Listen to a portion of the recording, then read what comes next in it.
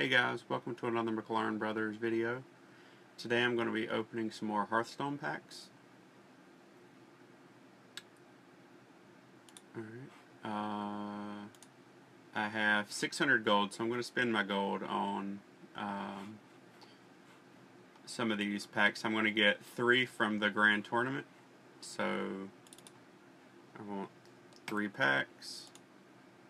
That'll be 300 uh, coins, so I'm going to buy those. And then let's open these packs and see what I get.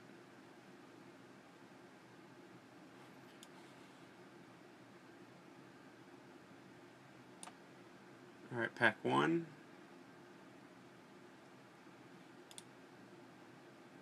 Demonfuse. Bear Trap for the Hunter bolster for the warrior, competitive spirit for the paladin, and the buccaneer for the rogue. Alright, let's open pack two.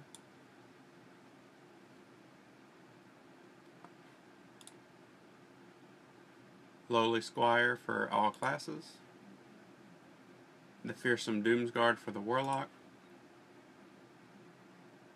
Uh, this person for the shaman.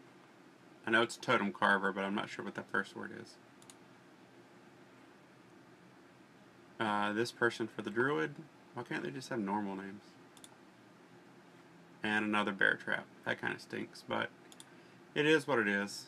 I don't like to get doubles whenever I'm only opening three packs, but I guess it's my problem, not Blizzard's. Armored Warhorse for all classes. Lance Carrier for all classes. Uh, captured Jormungar for all classes. The Ice Rager. And the King's Elekk, maybe? Alright, so that's all for this video.